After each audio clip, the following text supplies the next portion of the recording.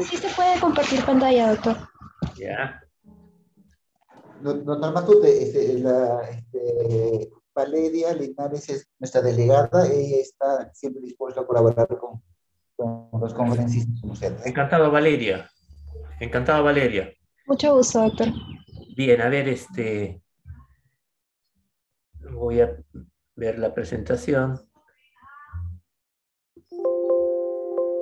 ¿Ven la pantalla?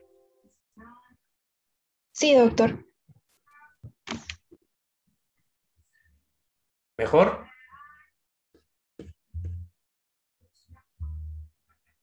Sí, sí, sí se puede ver, doctor. Listo. Perfecto. Muy bien.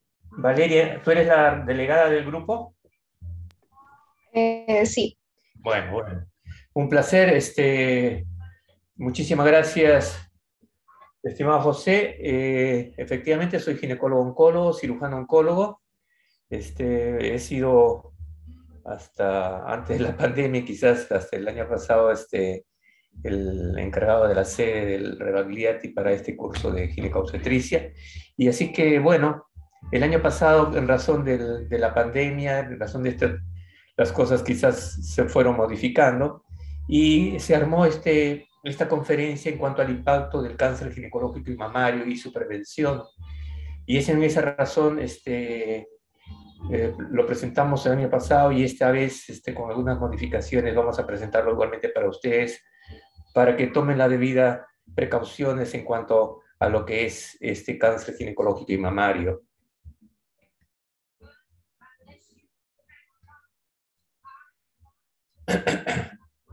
Muy bien.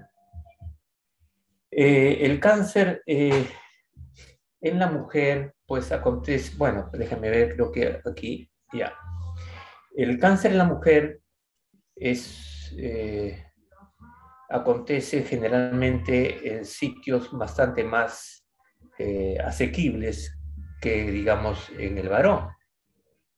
Eh, los cánceres predominantemente en la mujer están dados en lo que es el cáncer de la mama y desde el punto de vista ginecológico, cáncer uterino, que son neoplasias que pueden ser observadas, pueden ser seguidas y pueden ser manejadas de una forma más adecuada. Es cierto de que este, existe bastantes diferencias en cuanto a lo que es la presentación de este tipo de eventos en las mujeres eh, en países desarrollados y este, existen variantes en referencia a las mujeres en los países en vía de desarrollo como el nuestro. Así que vamos a dar pautas referente a esto Ustedes obviamente van a ser los promotores de salud futuramente y entonces este, ¿No pasa? Hola, ¿me están escuchando? Sí, doctor, lo escuchamos. Perfecto. Mm. Bien. Eh, le decía de que ustedes van a ser los promotores de, bueno, si ya no lo son en el ambiente familiar, cualquier consulta desde el punto de vista este, de alguna medicina, de alguna enfermedad, quizás ustedes son eh, el, equipo que debe estar de, alguna manera educando no solamente a su amigo, a su hermano, a sus padres, o a su ambiente familiar, a su ambiente social, etc. Y ustedes son los que van a ser los promotores de salud de aquí en adelante, o si ya no lo son. Entonces, este, es importante que ustedes este, hagan lo que se llama prevención. Es mucho más barata una prevención que un tratamiento. Ustedes ya seguramente en la práctica van a darse cuenta de ello. Si es, y este, es importante que estemos educando a nuestra gente eh, en este sentido, porque siempre, como les digo, es mucho más barata la prevención que el tratamiento en sí de un evento. Y si la sociedad es el, es el palacio de la salud por consiguiente de la vida, el hospital es el palacio de la enfermedad por consiguiente de la muerte. Y nosotros vamos a laborar en, este, en ese ámbito, en donde tengamos no solamente de, eh, digamos, decir a una paciente, usted tiene esta, este tipo de, de enfermedad, usted tiene este tipo de cáncer, y darle la esperanza y los caminos adecuados para poder tratarlos. Y muchas veces eh, vamos a paliar los, los, los, eventos, vamos a alterar la historia natural del, del evento, del cáncer, pero siempre llevar la esperanza a los pacientes que de alguna manera van a requerirlo en el futuro. Eh, entrando a tallar ya referente a lo que es el cáncer, vemos que esta gráfica en donde vemos la incidencia y la mortalidad para ambos sexos, y vemos los 10 principales tipos de cánceres. Y vean ustedes que cáncer de la mama. El cáncer de mama es uno de los principales tipos de cánceres que acontecen en estas mujeres. Y, este, y veamos lo que es su incidencia, que es uno de los más avanzados, más, eh, eh, digamos, su, muy, muy, mucha incidencia de cáncer a nivel mundial en cuanto a mama, y vea su mortalidad, ¿no? Es también importante, pero antes era mucho mayor porque llegamos quizás en estadios más tardíos y quizás también porque han habido cambios en cuanto a, las, a los agentes que estamos manejando y una mejor racionalidad en cuanto a ello. En el varón, vean, la próstata es otro de los tipos más eh, frecuentemente que se presentan, pero también una mortalidad que ha ido disminuyendo porque el tratamiento hormonal ha sido un tratamiento luego de la cirugía, obviamente, un tratamiento muy utilizado, muy adecuado. Pero también vean cáncer de pulmón. Ahora aquí el, género, eh, hombres y mujeres están, incluso mujeres están fumando mucho más que los varones, y entonces vean, igualmente, vean la mortalidad que tiene esta, esta, este padecimiento. Entonces, veamos también esos datos, aparte de que hemos hablado del cáncer de pulmón y uno de los cancerígenos más importantes que en todo caso es el tabaco. Y el tabaco de alguna manera también eh, influye no solamente para pulmón, sino para otros órganos, como vamos a ver más adelante. Y luego vemos, vean aquí, eh, cáncer uterino con una incidencia importante, igualmente una mortalidad importante. Pero detallemos aquí una cosa muy importante. El cáncer de cuello uterino eh, ha sido estudiado por mucho tiempo y este, han visto campañas de depistaje que quizás eh, se han acomodado mejor para los sitios en, países desarrollados donde su cobertura va a ser mayor porque la educación es mayor, eh, los, los, medios de, de, salud están más al alcance de la población, pero en los países en vía de desarrollo quizás no es tanto esto. Y vamos a ver estas variaciones muy notables, muy notorias en relación de países desarrollados versus países en vía de desarrollo. Entonces, eso es un punto que tenemos que detallar y seguramente vamos a, a hablarlo más adelante. Luego tenemos, vean ustedes aquí, este, cuerpo, uterino y después aquí al final el ovario. Y vean la proporción entre lo que es la incidencia y la mortalidad. Este tipo de, tumoraciones de cuerpo uterino, de endometrio, son tumoraciones que nos avisan muy tempranamente o que avisan a la mujer muy tempranamente, generalmente mujer posmenopáusica, obesa, hipertensa, etc. Y este, esto avisa precozmente y de alguna manera podemos acude a la paciente al médico por el sangrado, porque una mujer que dejó de, menstruar y de repente comienza un sangrado en la etapa eh, menopáusica, de alguna manera la pone sobre aviso, va al médico, la evalúa, le hace su, su biopsia endometrial, su ecografía transvaginal, etcétera, determina grosor endometrial, biopsia del endometrio y de alguna manera se llega a un diagnóstico rápido eh, porque casi empieza muy tempranamente esto y generalmente lo detectamos en estadios iniciales de la enfermedad y por consiguiente, vean, la mortalidad es baja. Lo contrario ocurre con, con ovario. El ovario tiene una historia muy distinta. Generalmente la sintomatología es muy vaga, puede ser gastrointestinal, urinaria, etcétera. Se le da tratamiento, qué sé yo, eh, y este, la, la, enfermedad prosigue y cuando se llega a detectar ya con cuadros con ascites, distensión abdominal, masa mucho más grande, qué sé yo, llegan a estadios avanzados de enfermedad en donde la curabilidad es bastante poca, pero han habido avances, a pesar de ello, han habido avances en cuanto a, a este manejo y de alguna manera estamos viendo igualmente esta mortalidad que también es importante para acá. Entonces, viendo desde el punto de vista general, estamos determinando estas circunstancias de cómo vamos a manejar este tipo de, de, problemática.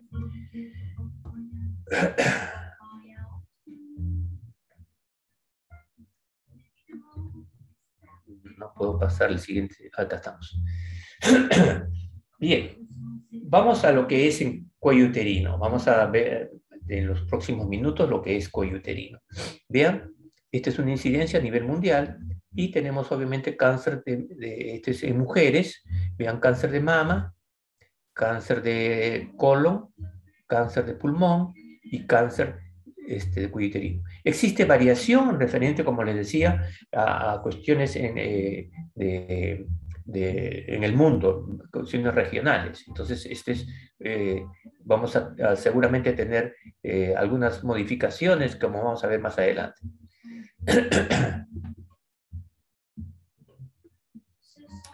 Demore más bien.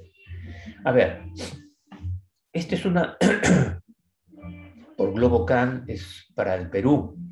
Vean ustedes, ambos sexos, próstata, mama, colon y recto, colon y recto, si nosotros eh, sumamos lo que es estómago y colon, este, tumores gastrointestinales, está ocupando un lugar muy importante y desplaza cuello uterino. ¿Mm? Y aquí observamos para mujeres en especial.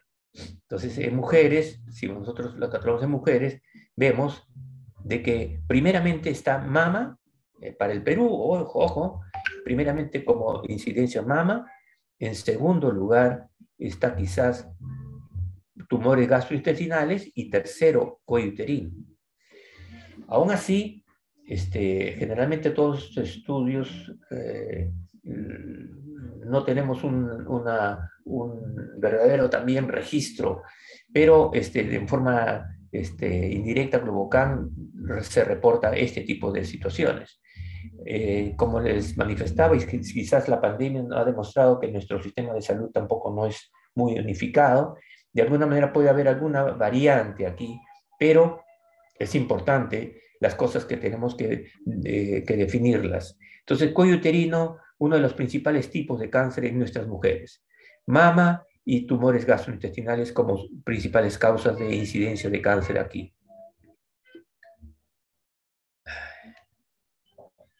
Bien, aquí este, ya les manifestaba, hombres y mujeres, próstata, mama y cuello uterino quizás en las mujeres. Vean ustedes en todo caso aquí la incidencia y mortalidad. Eh, ya les manifesté, hemos hablado al respecto. Y sobre un ovario quizás la, la mortalidad importante porque efectivamente no se llega a diagnóstico temprano con ellos. Bien, eh, desde casi la segunda mitad del siglo pasado, este, se ha comenzado a estudiar lo que es la presencia de algún agente eh, y se estudió el cáncer uterino. Y se demostró que existía un, virus, un virus que de alguna manera, eh, podrían ustedes al ver esto, podrían estar semejando al, coronavirus, pero es un virus eh, de, la familia de los papilomavirus, y se demostró ya en el 1983 que el, el 16 estaba en relación a lesiones, eh, inicialmente se la catalogaron como herpes y después verrugas, y después ya se determinó que para los cánceres de cuiterino el 16 era un factor importante. Vean lo que le manifestaba en la gran mayoría de las poblaciones o regiones pobres, la incidencia es bien alta y la mortalidad por consiguiente también alta. Pero vean en, sitios o regiones en donde están más desarrollados, la, situación es mucho más viable. Nosotros en Sudamérica, acá a nivel común promedio mundial, esta es la, la gráfica que nos evidencia ello. Entonces diremos de que el cáncer de cuello uterino es una de las causas, eh, la cuarta causa más importante de cáncer.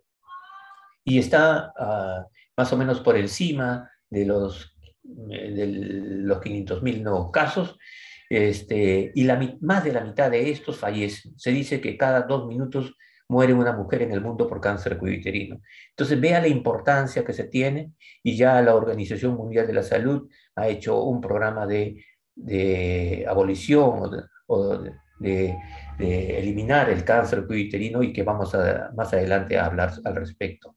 Entonces, el impacto de este tipo de, eventos en, la mujer a nivel mundial es mucho más eh, evidente y sobre todo en los países, eh, digamos, en vía de desarrollo como el nuestro. Entonces, y sobre todo sabemos eh, cuál es la historia natural de la enfermedad. Sabemos exactamente que existe un agente causal, que es el papilomavirus. Entonces, sabemos que hay campañas de, programas de, despistaje, de tamizaje de las mujeres. Entonces, sabemos de, en quiénes se van a presentar. Sabemos igualmente cuáles son las lesiones precursoras de cáncer. Este, encima tenemos vacunas, vacunas y de alguna manera todavía la mortalidad por este tipo de cosas que son evitables no la tomamos en cuenta. Entonces vamos a ver también esa problemática, vamos a ver este, cómo podemos mejorar eso. Ahora, este, la de, tu nombre me dijiste la delegada, no, no me acuerdo exactamente, perdón, Valeria. Sí, doctor. Valeria, este, ¿cuántas mujeres hay en, en, en, la, en la, promoción de en, ustedes en relación a hombres? Eh, somos más mujeres que hombres. Perfecto. Eso es lo que se veía años atrás y se viene produciendo ahora. Entonces, vean ustedes, este, chicas, que esto es sumamente importante para ustedes. Y yo te preguntaría, ¿ustedes saben más o menos de todas las chicas este, cuáles se han vacunado contra el papilomavirus? No, doctor, no tengo esa, esa cifra.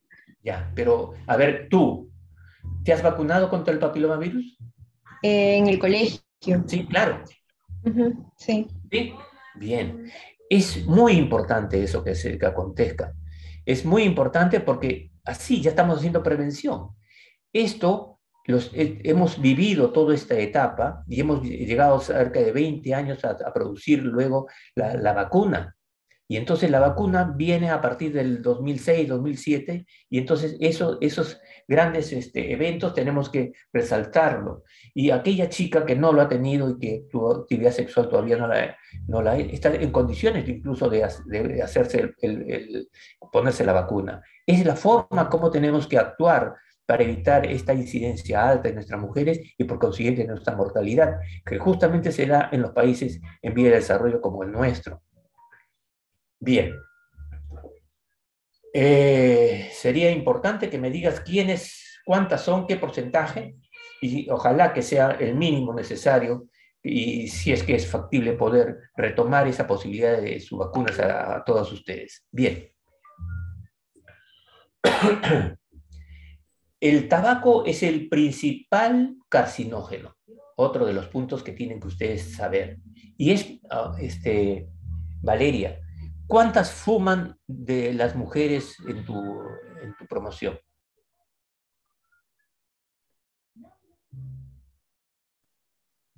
No tengo la menor idea, doctor. ¿Tú fumas? No, no fumo. ¿Has fumado alguna vez? Sí. Ya. Bien, haces muy bien en no hacerlo ya. Y entonces es importante que también vean esto, porque esto es prevención. Esto es prevención. Vean, cáncer, este, perdón, el tabaco y el papilomavirus son los dos tipos de carcinógenos que tenemos. Y vean, el papilomavirus es responsable del 5% de los cánceres en humanos, es decir, hombres y mujeres. El 10% de los cánceres en mujeres. Y el 15% de los cánceres en mujeres en países en vía de desarrollo como el nuestro. Es decir, tenemos una gran cantidad de cánceres que acontecen debido al, al papilomavirus. Entonces, es importante que tanto el tabaco, tengamos que dejarlo de lado, y vacunarnos, creo que, y seguir los controles para poder hacer despistajes adecuados en ese tipo de circunstancias. Bien. Vean, este, hay actualmente más de, una, más de un centenar de tipos de papilomavirus, pero los relacionados a los cánceres anogenitales están en relación más o menos a una veintena, más de una veintena de tipos de papilomavirus. Las vacunas estaban, los principales, este, eh, eh, digamos, eh, papilomavirus que están en relación al cáncer de cuello uterino son el 16 y el 18. El 16 y el 18. Y nuestras principales vacunas, las dos primeras vacunas, que fueron el Cervarix y el, el Gardasil, tetravalente, tenían estos dos tipos de, los dos principales. Y estos nos daban, daban una protección de un 70% a las mujeres de poder desarrollar cáncer uterino. Pero no es, no, es, no es la totalidad. Pero ahora, este, y ambas vacunas tienen una efectividad muy, muy importante. Y, pero ambas vacunas este, se han ido mejorando y ahora hay la vacuna no navalente, el Gardasil 9, que de alguna manera, de alguna manera favorece la posibilidad de, protección mayor se llega ya con la vacuna cerca del 90%. Entonces, es importante vacunarse, pero también es importante continuar con su campaña, con sus programas de despistaje adecuado. Ahora veamos la carga de los países desarrollados versus los países en vía de desarrollo como estos. Esta es una perspectiva que se, que se eh, programó o que más o menos se proyectó comienzo del siglo y que miren, este, han ido eh, evidenciando esta progresión y que seguramente para el 2050 íbamos a tener duplicar la cantidad de los cánceres este, de cuello uterino. Y vean, en los países desarrollados, está aquí en celeste, en donde se grafica prácticamente no es un problema de salud para ellos, pero para nosotros sí. Para nosotros sí.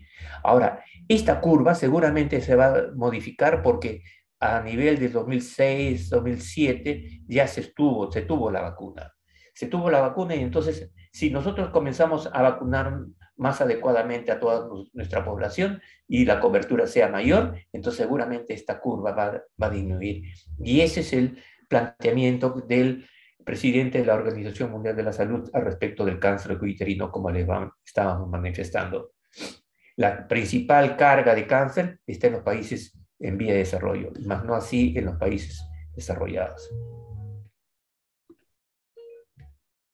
Tabaco y papilomavirus son los principales carcinógenos, oigo, oído, ¿eh?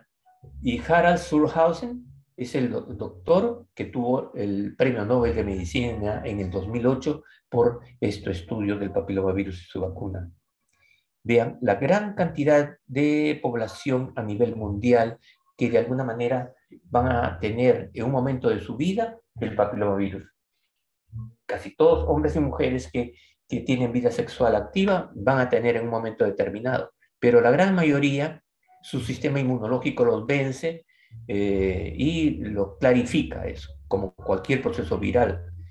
Eh, un pequeño grupo persiste y esta persistencia va a dar lugar a lesiones ya a nivel de lesiones de bajo grado, a nivel cervical, lesiones de alto grado, y luego ya desencadenen el cáncer.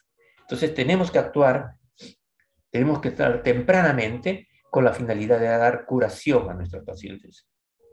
El papilomavirus está responsable de no solamente cáncer de cuello uterino, sino también de vulva, de vagina, de ano, de laringe, de orofaringe, y entonces es importante nosotros tener en cuenta eso. Y asociado a tabaco, más aún. Porque el tabaco también tiene un rol en cáncer de cuello uterino, como vamos a ver más adelante. Y este, los tipos de papilomavirus, hay también algunos cambios a nivel regional en cuanto al mundo. Bien, unos, unos puntos de vista en cuanto al despistaje. El despistaje ha sido muy, te digo, con buen suceso eh, en el mundo por tiempo, y no solamente en los países en vía de desarrollo, sino principalmente en los países desarrollados, en donde con una adecuación adecuada, con campañas de despistaje adecuados, con una cobertura adecuada, se llegó pues a, incluso con las fallas que podría darnos el Papa Nicolau, la citología, eh, poder este, quizás tener a buen recaudo a sus mujeres. Pero la citología, como hemos podido determinar, tiene una sensibilidad bastante baja, lo cual ha ido mejorando quizás con la citología líquida y con la presencia del test del BPH. Se está ahora determinando qué tipo de BPH cada cual maneja y según eso da una mayor seguimiento, una mejor determinación de quiénes son las pacientes con mayor riesgo o no. Como les manifestaba, la gran cantidad, el 90% de las pacientes que de alguna manera se infectan con el papilomavirus, hombres y mujeres, lo clarifican. Un, un pequeño grupo persiste y otro pequeño grupo va al cáncer. Hay numerosas guías. Estas guías han ido modificándose conforme el tiempo, conforme la cantidad demográfica, desarrollo demográfico de las poblaciones, conforme los cambios en, los hábitos y conductas sexuales, conforme a una serie de factores. Y de alguna manera también ha ido modificándose en quién hacer en el, el Papa Nicolau, en quién hacer el, y a partir de qué edad se tenga que hacer el, test del papilomavirus y con eso determinar las cosas. Esto es el test del VPH que se han ido presentándose conforme este, se han ido descubriendo y cada cual mejor y de alguna manera nos da la pauta de poder determinar qué pacientes sin lesiones, pero ya tienen este, su, su papilomavirus ahí y en cuánto tiempo hay que clarificarlo. Para que un programa tenga éxito eh, en cuanto a la detección, es necesario un, un estudio multidisciplinario, un programa que tenga a bien una eh, educación continua de la comunidad, no solamente en cuestiones generales, sino también en, salud, que tengamos un, un test de, despistaje adecuado, que sea cómodo, eh, sencillo y barato, que no requiera mucha, mucha tecnología.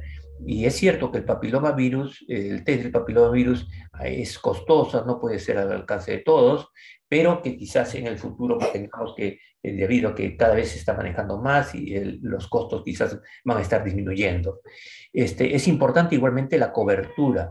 Cuanto mayor la cobertura de nuestras mujeres que ya tengan este, vida sexual activa, toda mujer que comience en el riesgo, de alguna manera Cuanto mayor la cobertura, mejor va a ser el suceso. Vamos a determinar las lesiones precancerosas, vamos a tratarlas y también no solamente tratar a ellas, sino a las que tienen cáncer, etcétera, y hacerles un seguimiento. Todo esto condiciona recién un, un éxito en el programa. Y obviamente todos basarlas, este, bajarlas pues para métodos estadísticos, determinar una realidad en un sitio determinado y según eso actuar de la mejor manera. La historia natural empieza pues obviamente con el contacto sexual, con la acción del, del papilomavirus a nivel de la eh, de la zona de transformación del cuello uterino, cada vez ante la persistencia comienza a abarcar cada vez mayor grosor de este epitelio, llega hasta la membrana basal, se eh, eh, condiciona pues cambios a nivel este, citológico, histológico y da lugar pues a las lesiones de alto grado, lesiones de cáncer in situ y luego este, la infiltración y las lesiones pues que eh, del cáncer en sí, cáncer infiltrante. Estas, las vacunas, unas, cuantas palabras sobre las vacunas, como les decía, la Gardasil, la Cervarix, que tenía más 16, 18 principalmente, y la Gardasil 9, que asocia quizás a grupos de alto riesgo, que creo que en todo caso es la más adecuada en este tipo de, de momentos.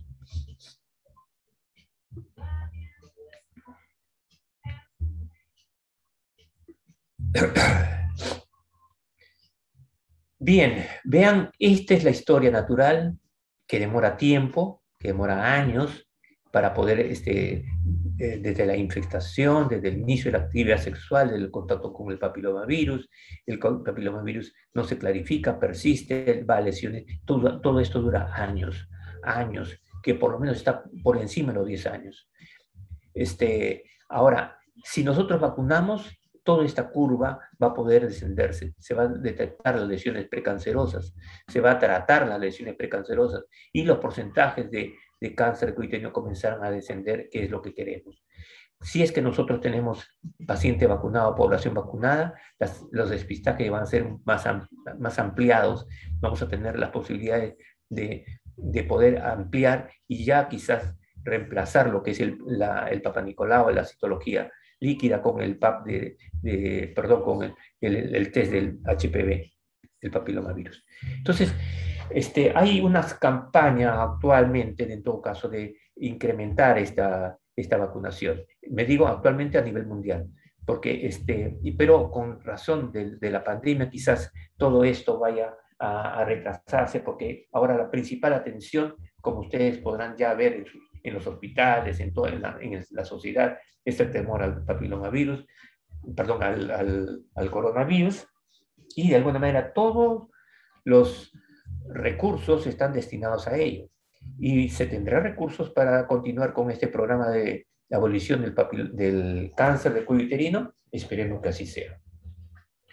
Entonces, esto es la vacunación, el, campañas de, eliminar el tabaco, la educación y la cultura de las poblaciones eh, menores que inician su actividad sexual, Igualmente las mujeres por encima de los 30 años, quizás la, podría aquí ver lo que es eh, el despistaje y tratar, ver y tratar, que es una, un programa que también tuvo, que está teniendo bastante éxito, sobre todo en países en vía de desarrollo, y también no solamente ver a las selecciones con precursoras o al cáncer in situ o al cáncer en, sí, y este, darle el tratamiento respectivo y hacer el seguimiento también si es que recibió cirugía, radioterapia, quimioterapia, etcétera, y darle los cuidados propios. Cuanto mayor es la cobertura de, de vacunación, las posibilidades de, de, desarrollo del cáncer de cuello van a ser menores. Este, obviamente que ya se sabe que es el papilomavirus el responsable del cáncer cuello uterino. Ya se sabe que más del 50-60% de las mujeres en la segunda tercera década de la vida van a tener infección por papilomavirus. Ya se sabe que el estatus inmunológico, el, hábito del tabaco, el uso de anticonceptivos orales, de alguna manera van a ayudar a que se persiste la, infección del papilomavirus y por consiguiente llegar a quizás a, tener lesiones ya. Es la primera causa de cáncer, eh, humor y mortalidad en los países en vía de desarrollo. Y estas dos vacunas que se tienen hasta ahora tienen un buen efecto en cuanto a la protección de nuestras mujeres. Los factores inmunológicos que están viniendo en adelante seguramente nos van a dar pautas al respecto.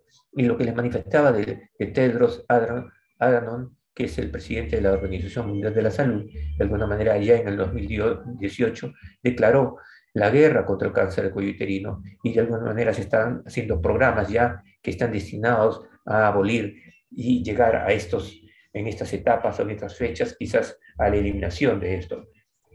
Entonces, sí, nosotros en todo este tiempo comenzamos a hacer un programa de vacunación mucho más agresivo, una cobertura de despistaje y, y tratamiento de las lesiones precancerosas y tratamiento de los cánceres. De alguna manera, esto va a llevar que al 2060, ustedes ya lo verán, quizás yo ya no, pero este, esa va a ser la, la, el, gran logro que se tenga que, que, realizar de aquí en el futuro.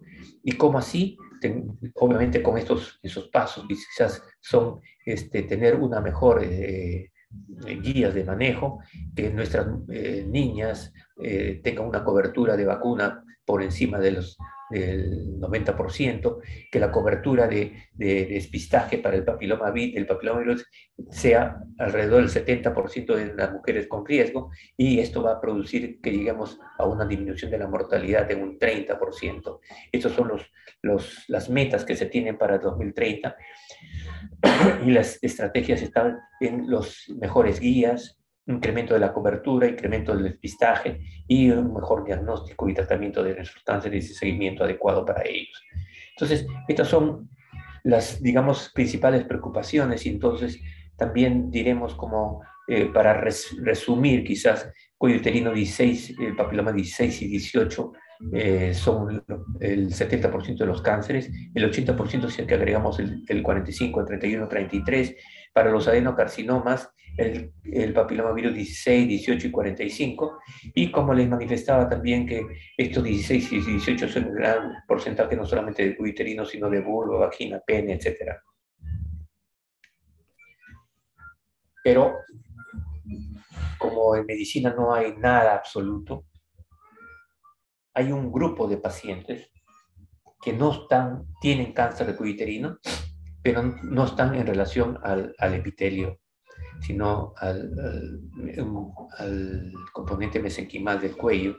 Y este es un trabajo que seguramente en un momento determinado vamos a, a presentárselos en relación a rhabdomyosarcoma de cuello uterino, que eh, es una cuestión sumamente rara, pero que en nuestro trabajo en el Hospital Real hemos realizado y hemos encontrado esa realidad. Estas son nuestras pacientes. Y esta es una de las últimas pacientes que hemos tenido y quizás sea bastante anecdótico, una niña de 13 años que este, tuvo un tumor de Williams extrarrenal primario de cuello uterino, una chica, una niñita de 13 años y ahora ya tiene creo que como 4 años cuatro o cinco años ya Nasla.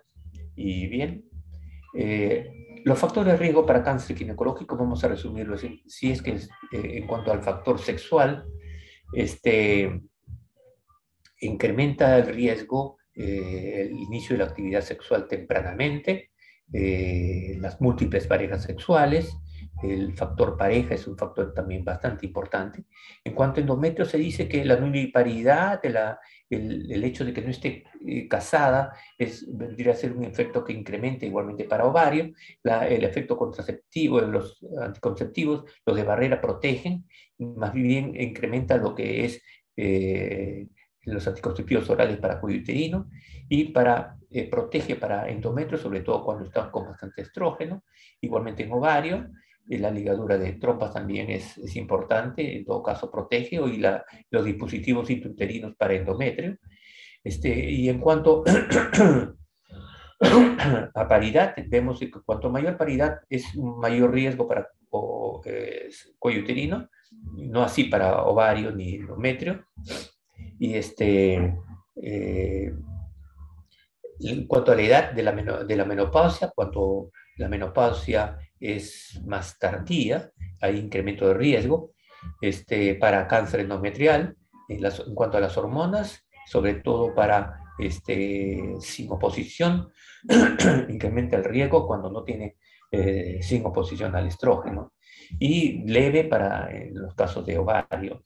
Y en cuanto a antecedentes familiares, veremos para ovario y endometrio quizás algunas mutaciones que pueden estar eh, involucradas cuanto a la dieta y sobre todo para la obesidad, para cáncer endometrial, y no está muy bien claro para tanto ovario como cuello uterino.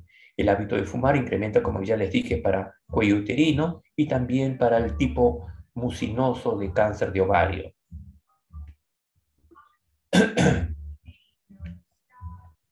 Y bueno, vamos ahora a tratar el otro tema importante que en todo caso es el cáncer de la mama les manifesté de que este, hasta aquí alguna pregunta o algo que, que requieras, este, eh, Valeria. ¿Está claro? Sí, doctor, por mi parte no tengo ninguna pregunta. Bien, este, me interrumpes cualquier cosa que requieras que alguna acotación. Este, bien, entonces vamos a mama, y entonces ya este cuadro más o menos lo hemos estado viendo y los factores de riesgo también más o menos hemos estado difundiendo en cuanto también a los riesgos, en cuanto a antecedentes familiares y factores reproductivos.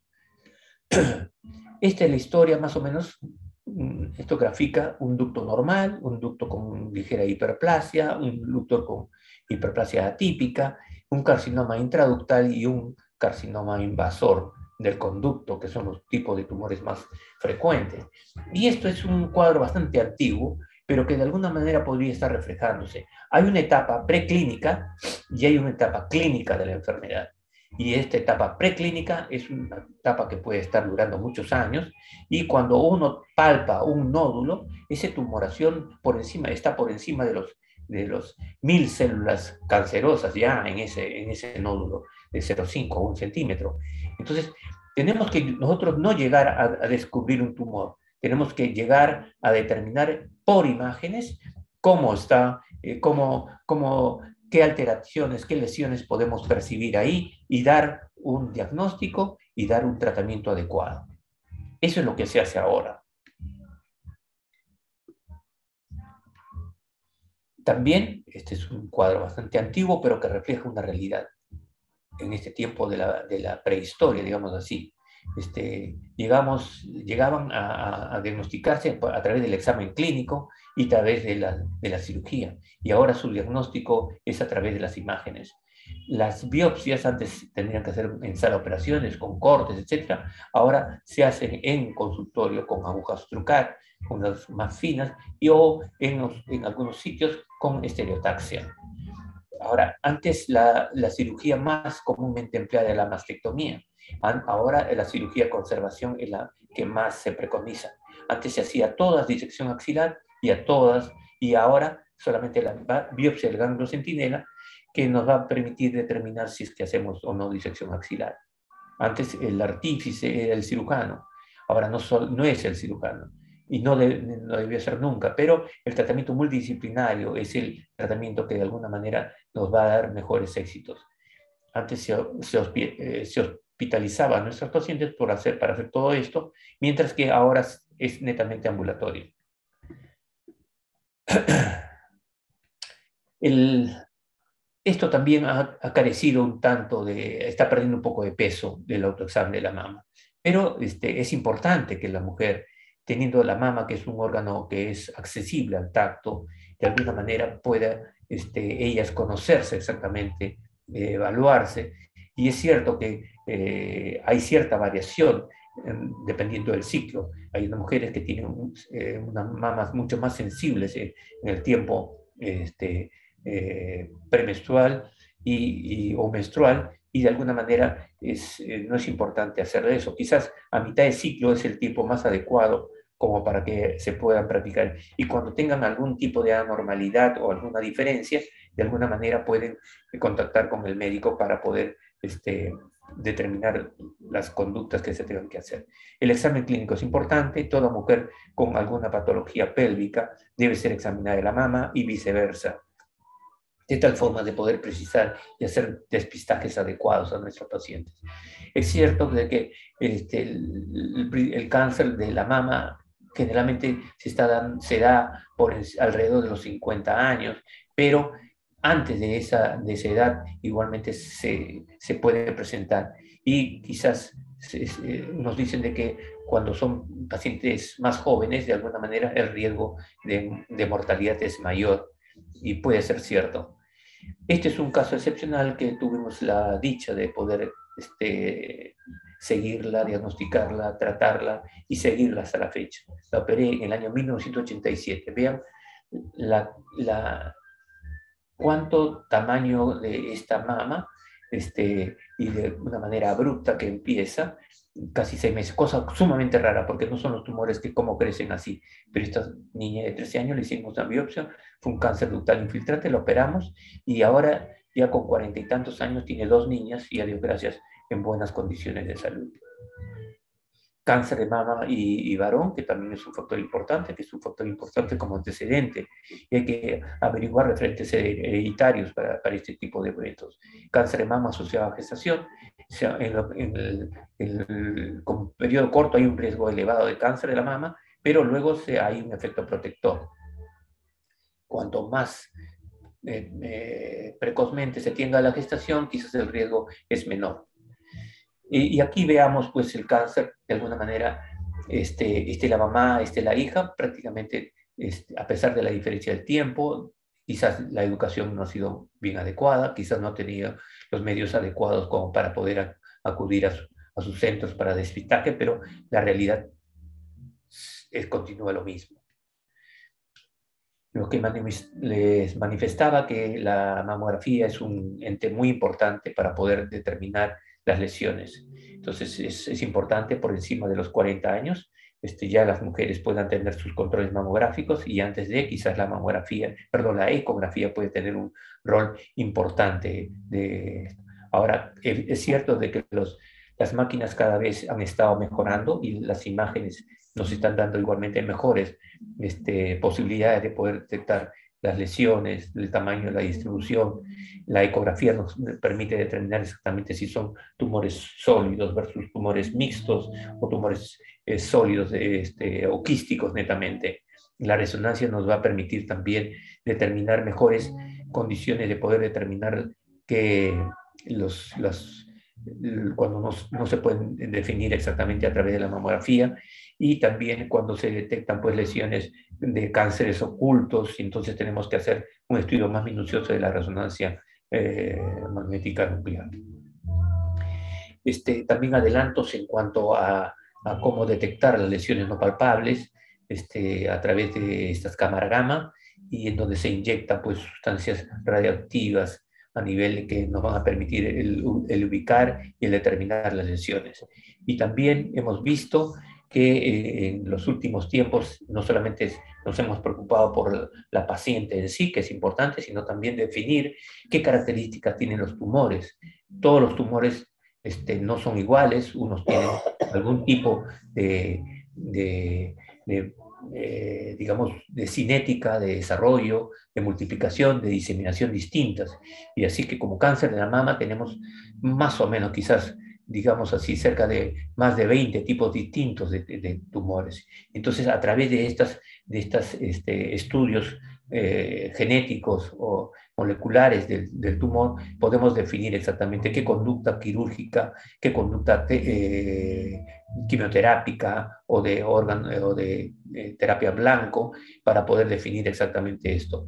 Y ahora, esta nueva clasificación molecular de los tumores de los tumores de la mama, nos van a permitir mejor este, eh, el, ahorro quizás de algunas sustancias que antes la dábamos quizás a todas las mujeres con cáncer de la mama. Y ahora prácticamente es un estudio más individualizado y más eh, efectivo quizás. Entonces, estos son los, los, factores que de alguna manera van a influir en, en cuanto a los al tumor, cómo se hace la prevención también. Hay algunas sustancias, sobre todo en mujeres con riesgo. El tamoxifeno ha sido una, terapia, bastante útil, el tamoxifeno como una, este tipo de, alternativa en cuanto no se puede utilizar el otro. Los inhibidores de la aromatasa, la misma cirugía de mastectomía, sobre todo principalmente cuando hay alteraciones de los BRCA1 y BRCA2. Entonces, esto de alguna manera ayudan para poder manejar mejor y evitar los cánceres, como una manera de las general, así muy, es determinar exactamente qué riesgo tiene de desarrollar cáncer, si es que tiene antecedentes o no, si es que ya desarrolló o no, si tiene alguna lesión que ha sido catalogada como eh, un carcinoma ductal atípico, etcétera, o cáncer in situ, o cáncer in, eh, in situ, que es un marcador, y entonces a estas mujeres también, o igualmente para todas, quizás una gestación temprana y que sea múltiple de repente, este, eh, dar, el, preconizar la lactancia como un ente muy importante para el niño y también como protección, el ejercicio regular, el hacer, este, es una cuestión muy importante. Quizás ahora hacen, nuestras mujeres quizás hacen más ejercicio y veo cada vez más en los gimnasios y en y en la calle en sí, en los lugares de, de, ejercicios, se, se, ven muchas mujeres que de alguna manera están controlando mejor su, su peso, eh, controlan mejor su silueta, controlan mejor su salud. La ingesta de frutas y verduras y evitar tóxicos, el alcohol, el tabaco, por favor, chicas. Entonces, si nosotros hacemos una vida eh, con, con, ejercicio, eh, comemos mejor, evitamos los tóxicos y añadimos aquí y nos controlamos adecuadamente con, nuestros médicos en forma este, eh, complementaria. De alguna manera estamos doblegando lo que es y estamos viviendo mejor en nuestra vida. Y un punto de vista este, para, en cuanto a ovario. Les manifestaba de que generalmente lo descubrimos tardíamente, entonces hay muchas cosas por hacer este, el factor de, riesgo, el factor edad, cuando eh, les manifestaba, hemos visto el cáncer eh, de estas niñas, eh, cáncer en, en, las mujeres, niñas adolescentes, y en la, en la, otra curva bimodal que está por alrededor de los 60 años. Entonces es importante cuando determinamos alguna masa anexial en estos episodios tener en cuenta siempre el cáncer, el cáncer de ovario. Las mutaciones también están importantes para esto. Este, se ha visto que gran mayoría también de los, de los cánceres de ovario hereditarios están en relación a la trompa falopio. Ahora prácticamente en un mismo grupo de cáncer de ovario están involucrados las tumoraciones peritoneales, las tumoraciones este, que se originan en la trompa y las tumoraciones que se originan en el ovario. Entonces es importante esto. Este, las ligaduras de trompa ejercen un efecto protector, no se sabe del mecanismo. la salpingectomía eh, o, o bilateral es un método efectivo de prevención del cáncer hereditario, si es cierto, y no existe un método de despistaje del cáncer de ovario que sea reconocido y que sea actualizado. Y este, me había equivocado, no les había presentado todavía esta, esta diapositiva. Este son dos niñas esta es una niña de 17 años que justamente había ingresado a la universidad, va a su evaluación médica y se le detecta eh, una tumoración pélvica, le hacen una ecografía y la ecografía evidencia una tumoración dependiente de ovario. La operamos y esto fue un tumor eh, borderline de ovario eh, de tipo seroso y esta es otra chica de 14 años, mucho más maceta, este, con cierta distensión abdominal, pero mayormente no, no tenía ninguna este, alteración alguna. Este, y este, efectivamente se le hace eh, una tomografía, ecografía, etcétera, se detecta una masa ah, que abarcaba casi toda la cavidad abdominopélvica y esta es la tumoración.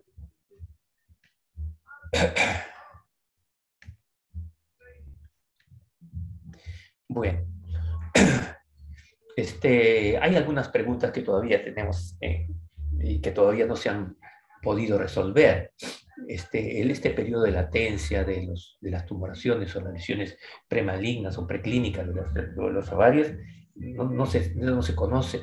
Igualmente, ¿qué porcentaje de los, de los tumores de ovarios serosos de alto grado se originan en las trompas de falopio?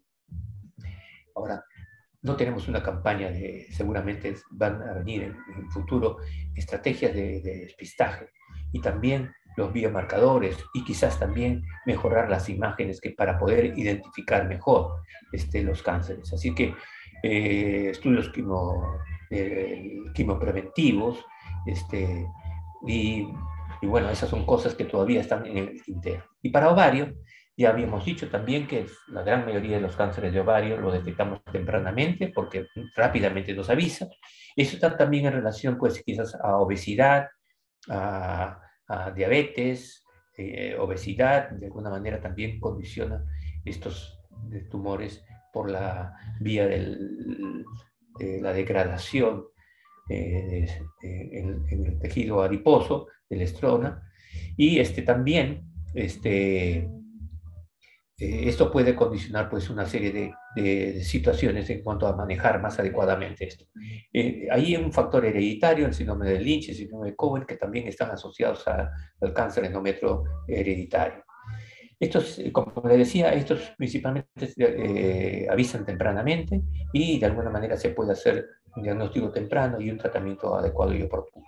Esto es un gráfico que nos evidencia que la obesidad, de alguna manera, los mecanismos por los cuales la acción sobre el estrógeno, perdón, sobre el endometrio, de, al, ver la, eh, la aromatasa y de alguna manera se degrada y de alguna manera también actúa sobre el endometrio y como consiguiente desarrollar cáncer, lesiones, perdón, hiperplasia y después cáncer.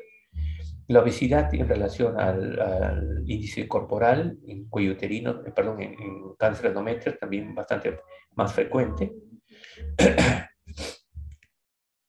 Y en cuanto a lo que es prevención y las estrategias, es un tratamiento multidisciplinario y varias este, condiciones, la genética, la fisiología, el medio ambiente, los estilos de vida, la carcinogénesis, este, evitar los, los hábitos nocivos, el tabaco, la exposición al sol, el asbesto, una dieta saludable, el ejercicio físico, el empleo de las vacunas, la, eh, la cirugía profiláctica, quimioprevención y evitar obviamente el tabaco y las situaciones en cuanto a, los contactos sexuales, ¿no? las formas de prevenir, etc. Este, ¿Cómo llegamos a una prevención secundaria? Es decir, para un diagnóstico temprano de las lesiones. Bueno, este, para algunos es muy eh, importante, por ejemplo, cuello uterino, pero como decía, para este, y en una prevención secundaria es un diagnóstico lo más temprano posible. Hay que tener la suspicacia de poder determinar exactamente este tipo de lesiones. El tabaco para el pulmón, este, cuello uterino, etc. El, el PVH importante, la hepatitis C para el CA hepático, etc. Y para armar esas estructuras en cuanto a la prevención es, es importante tener las ideas de que muchas disciplinas, las ciencias básicas, clínicas, ambientalistas y políticas son importantes. La vacuna es sumamente importante, como ustedes han podido este, escuchar en, la disertación. La identificación de marcadores en las lesiones premalignas, no en todas se da, pero es, es el ser futuro se va a tener que llegar. Agentes quimopreventivos, efectivos, etc. Tratamiento multidisciplinario Siempre trabajar en equipo es importante.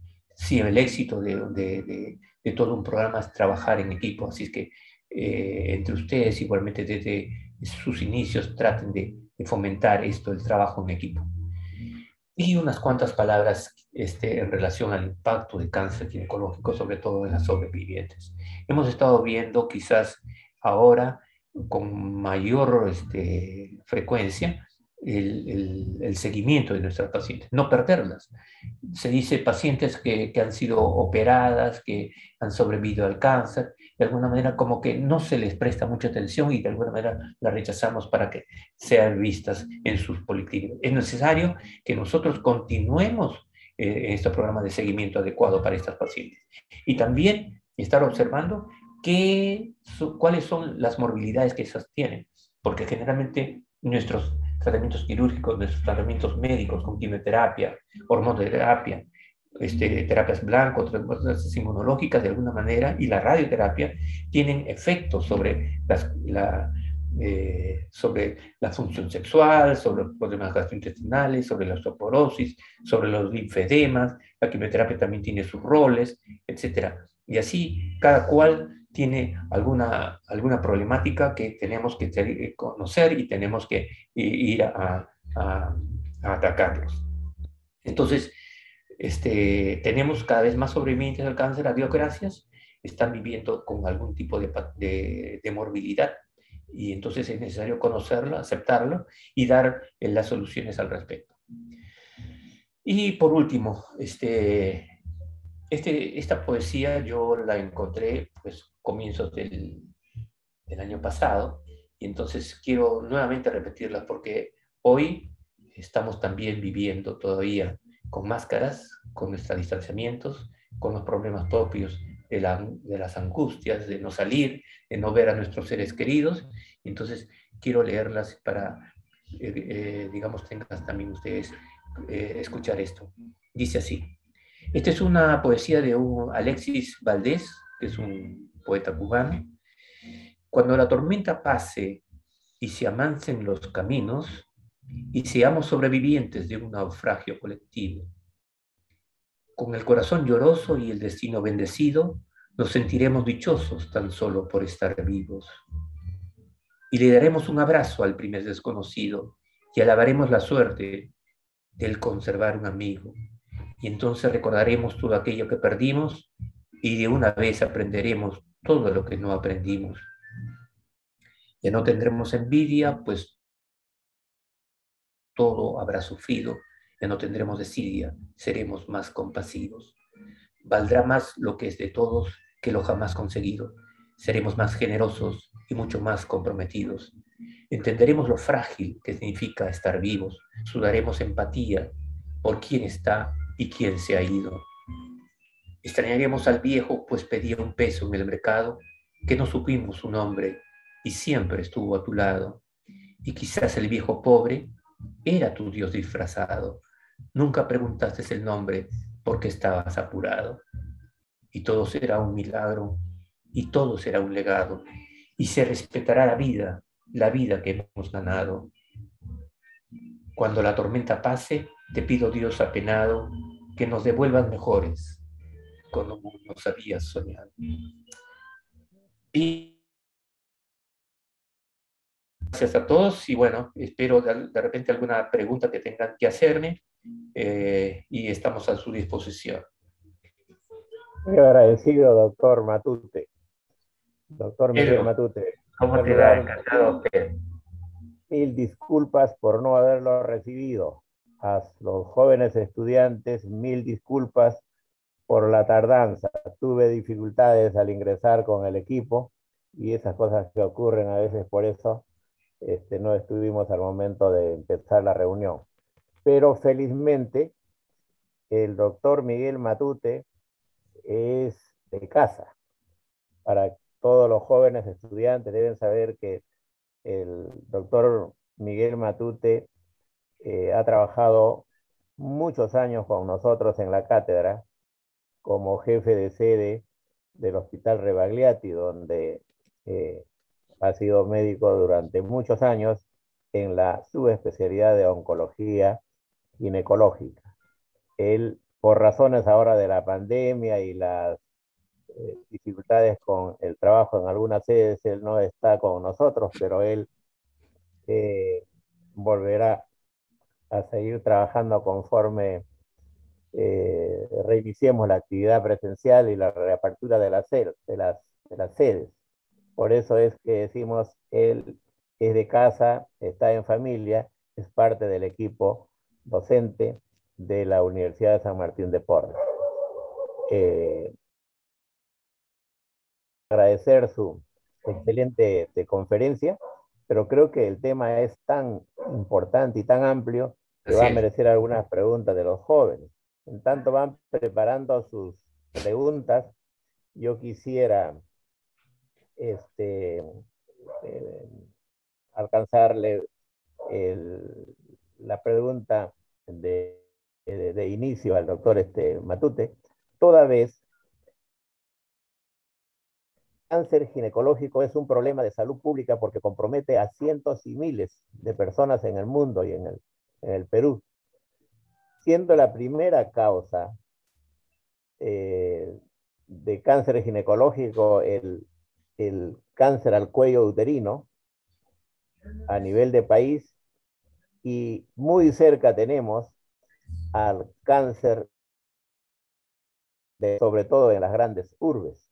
Estos son los eh, principales problemas eh, neoplásicos que tenemos en el país que enferma y que mata a muchas mujeres y que tiene como punto de enfoque de entrada acciones y medidas preventivas que son importantísimas. De ahí entonces que si este es el problema, eh, yo quisiera preguntarle al doctor este Matute eh, que eh, nos señale qué medidas o qué acciones de prevención, qué líneas programáticas se pueden impulsar en el país, sobre todo en las zonas más humildes, más pobres. Eh, cáncer del cuello uterino ataca a la población, sobre todo, este, con mayor pobreza, no solamente por las condiciones generales de esta población, sino por eh, la falta de educación, de cultura y identificar el problema tempranamente. De la misma manera, en las grandes urbes avanza aceleradamente, aceleradamente el cáncer al seno, a la, a la mama, qué eh, programas pueden funcionar o pueden impulsar para controlar este terrible este mal que viene afectando a nuestra población y a la población mundial en este momento. Bien, Pedro, muchísimas gracias por tus palabras y por tu pregunta. Bien, este, efectivamente, eh, principalmente cáncer de mama y cuello uterino son los tipos de cánceres que están eh, atacando más a nuestras mujeres. Estamos, cuando digo ya nuestras mujeres, vamos netamente al Perú y en el mundo también. Y les manifestaba también que este, según las eh, diversas regiones mundiales, eh, hay una mayor predisposición geográfica, quizás en relación a la pobreza, quizás en relación a que tienen los medios de salud no están bien implementados, quizás la realidad distinta de la zona rural, de la zona urbana. Entonces, todos estos episodios y se, han, se han visto y se han eh, tratado de ver y manejar de una mejor forma. En cuanto al cáncer uterino, este, estimado Pedro y estimados alumnos, eh, hemos visto la historia natural, hemos crecido haciendo papanicolaos y hasta ahora hacemos papanicolaos. Hemos visto cómo llegan las mujeres con cánceres avanzados desde hace, de, el tiempo que yo comencé a hacer este, mis pasos en neoplásicas y, avanzar en lo que es cáncer uterino. Y, vemos ahora, a pesar del tiempo, y a pesar de que ahora ya conocemos los, el agente, sabemos, sabemos que tenemos vacunas, pero sin embargo, esas vacunas no llegan a los sitios. La cobertura es todavía bastante pobre. ¿Qué es lo que tenemos que hacer? Como dije, para que un programa sea exitoso es necesario no solamente eh, eh, una forma de despistaje, no, se, se requiere educar a nuestra población educación de nuestra población, eh, hacer un programa que, sea, este, que tenga sostenibilidad en el tiempo, porque lastimosamente a veces el factor político juega un rol que de alguna manera lo que hizo el otro este, en, esta, en este periodo que yo gobierno ya no, no importa y vamos a empezar según lo que yo quiera. No, tiene que haber programas que tengan sostenibilidad en el tiempo de, los personajes, de las políticas, de lo que sea. Ya se tenga que armar un programa que sea eso. Luego de eso, determinar qué guías son las que vamos a manejar. Hay todo esto escrito, todo está escrito y a veces se modifican y se cambian, pero no se ejecutan. Entonces, lo que tenemos que nosotros, de, alguna manera, de nuestra tribuna, de nuestro sitio donde la veremos, seguir ajochando en relación a que las vacunas deben ser útiles, a que nuestra eh, población sea mejor educada, que nosotros como médicos salgamos desde el punto de vista de nuestra, nuestra posta médica, del sitio donde estemos, haciendo nuestros serums, avisar, educar a nuestra población para que así sea. Pero, este, y luego de, ver que de repente, pues, el, test del papiloma virus no se podrá hacer, pero se puede hacer una citología, se puede hacer este, un estudio del, de, casi inmediato de, del ácido acético y poder de, alguna manera ver y tratar. Porque efectivamente nosotros vemos una mujer, le decimos, oye, este, tienes que hacer, y la señora se tiene, ha venido con una canoa dos, tres días de, de enrumbar por el río. Entonces, todas estas situaciones tenemos que dar, pero creo yo, ahora que se está vacunando, incluso vemos a través de la televisión que quizás están yendo los monitores hasta los sitios más inhóspitos con la vacuna. ¿Por qué no tener, eh, seguir ese ritmo de tal forma de poder llegar a estos sitios, en los sitios donde no podemos llegar y tratar a nuestras pacientes, educarlas? Y no solamente eso, mi estimado, sino también el detectar las lesiones y al detectarlas, tratarlas casi inmediatamente. Y también armar programas de tal forma de poder hacer el seguimiento para todo ese tipo de mujeres. Lastimosamente, este, tenemos que crecer mucho, pero hay que ser optimistas. No sabíamos antes que podíamos conseguir una vacuna y ya la tenemos. Y, este, esta vacuna tenemos que, eh, así como nos estamos vacunando contra el coronavirus que nos puede matar y que seguramente tenemos, pues, rezamos por aquellos que que se nos han adelantado y, estamos eh, quizás eh, dolidos por ello. Pero hay que tener la esperanza de que este, tenemos que seguir adelante, tenemos que no desfallecer y creo que, este, como les decía al inicio a ellos, que desde nuestro sitio tenemos que educar a nuestra gente, a nuestros familiares, porque de repente ahí también podemos estar eh, comenzando a hacer los cambios que van a llevar a la vida de nuestros pacientes. Gracias, doctor Matute. A ver, los jóvenes estudiantes de repente tienen alguna pregunta que, que, hacer. Hay que aprovechar la presencia del doctor Matute, quien como subespecialista en oncología ginecológica tiene una amplísima trayectoria y experiencia. Eh, sí, doctor, buenos días. Yo tengo una pregunta. Adelante, Nicole. Sí, Eh, quería saber, por ejemplo, eh, cuáles son las vacunas eh, para el papiloma que están colocando acá el MINSA y si en todo caso, por ejemplo, alguien se haya colocado las que no, o sea, por ejemplo, no, no la Gardasil 9, sería posible, por ejemplo, colocar una dosis más de esa como para tener una protección más completa. Nicole, gracias por la pregunta. Este, efectivamente, ahí, mira, eh, primeramente salieron dos, dos este, tipos de papiloma, perdón, dos tipos de vacunas. Les dije de que las, sobre todo tienen la 16 y 18, que es la responsable del 70% de los cánceres, y esas han sido sumamente efectivas. Ahora, felizmente, también han llegado una mayor protección. Entonces, este, ya tenemos, eh, eh, ahora tenemos la vacuna no, no navalente, que nos está cubriendo casi el 90% de protección para nuestras, nuestras niñas y adolescentes y mujeres. Y yo creo que este, eh, lastimosamente aquella que se vacunó con, el, eh, con, el, este, con la Gardasil 4 o con el Cevarix, de alguna manera tienen la protección. Eso es importante. Ahora, ¿cómo, cómo este, si es que hay una vacuna con esto te vacunas y de alguna manera de aquí en adelante este, sigues protegida. A Dios gracias, no tiene las variantes, seguramente aparecerán algún otro tipo de cosas que seguramente lo estudiaremos y seguramente lo venceremos. Pero por el momento, yo diría de que este, eh, no se ha visto, no tenemos todavía ninguna evidencia de que tengamos que revacunarlas a nuestras, a nuestras niñas y adolescentes o, o, o jóvenes ya maduras para poder pues, eh, aumentar su protección.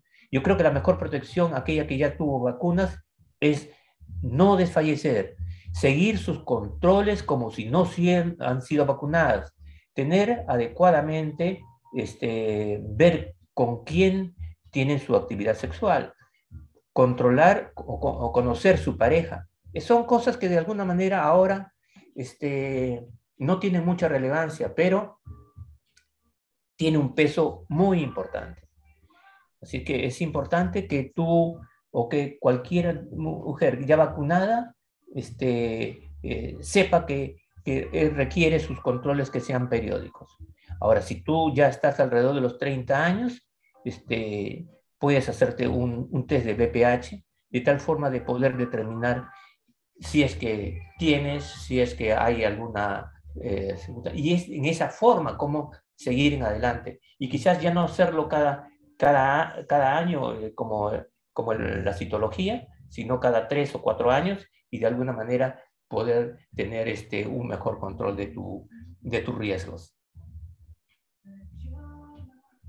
Gracias, doctor este, Matute, gracias. Bien. Si no existe otra inquietud, quiero este, expresar una vez más nuestro profundo agradecimiento al doctor Miguel Matute por su excelente ponencia. Esto realmente no solamente cubre el espacio académico, sino sobre todo orienta a nuestros jóvenes a que en el mañana lo que hay que trabajar con fuerza son las medidas preventivas. Las medidas preventivas. Lo otro puede ser importante, pero la, la prevención está en nuestras manos. Y y sobre todo de los médicos generales que son los que tienen el primer contacto con nuestra población. Doctor Matute, una vez más, muy agradecido y un, un fuerte abrazo para usted y lo despedimos con un fuerte aplauso. Gracias, doctor, y buenos días. Gracias, Pedro. Gracias a todos ustedes. Ha sido un gusto estar con ustedes. Un abrazo. Gracias. Muchas gracias, doctor. Gracias, doctor. Gracias, gracias doctor. Gracias, doctor. Gracias, chicos. Gracias. Gracias. Gracias, muy amable. Doctor, disculpe, yo tengo una duda. Dime. Eh, por ejemplo, doctor, ¿usted qué recomendaría, por ejemplo,